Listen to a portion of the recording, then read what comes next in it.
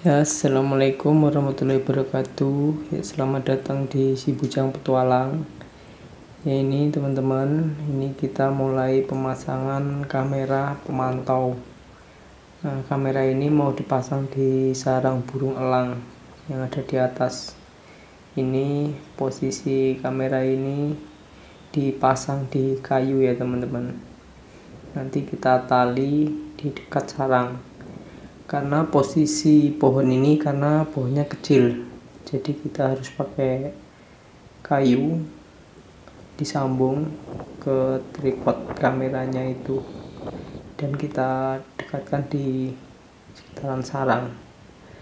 Dan nanti teman-teman bisa melihat uh, keadaan sarang di pohon ini. Jadi nanti rekaman ini full kegiatan si anak elang itu ngapain aja nanti bisa terlihat di kamera yang kita tinggal di sini ya teman-teman. Ini Mas Sugeng udah mulai mau memasang kamera. Nah ini posisinya mau didekatkan ke tempat sarang.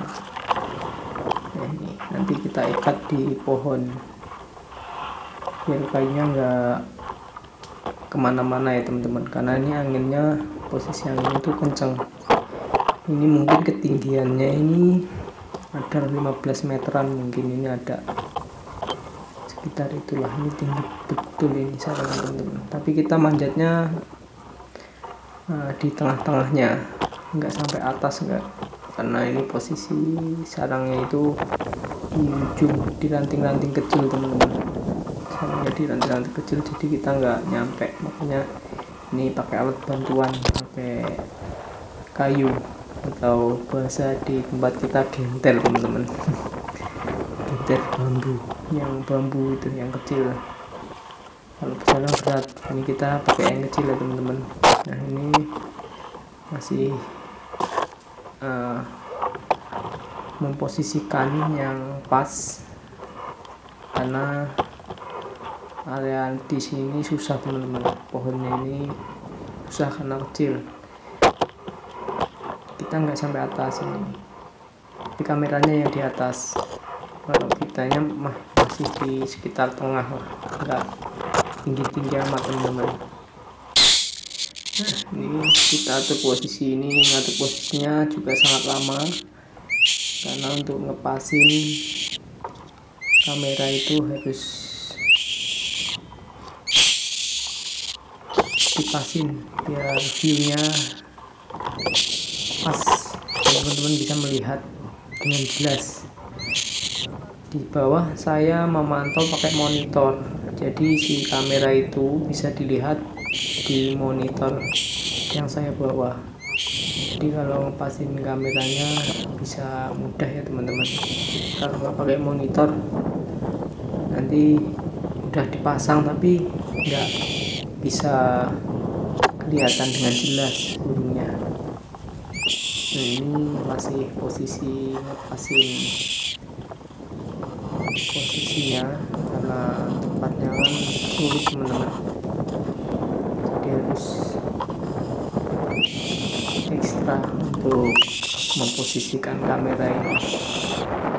Nah, kadang lama karena posisinya itu kadang karena angin ini kita nggak bisa muter-muter alatnya ini uh, alat yang dipakai untuk memegang kamera itu yang ditali sama kayunya itu. Karena kalau pas angin kayunya ini juga bergerak teman-teman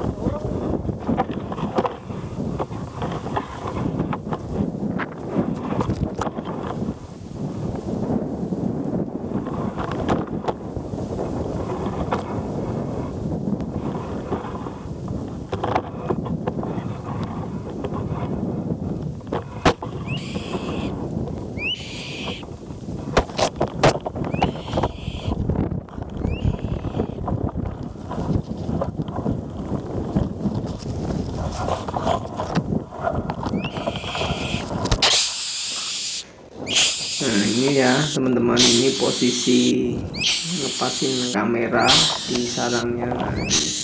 Ini saya bisa lepasin dari bawah. Jadi nanti saya beritahu Mas Sugeng bahwa kameranya sudah pas sudah filmnya sudah pas menghadap ke sarang burungnya ini. Nah, nah ini kan sudah pas jadi Mas Sugeng tinggal nanti ke pohon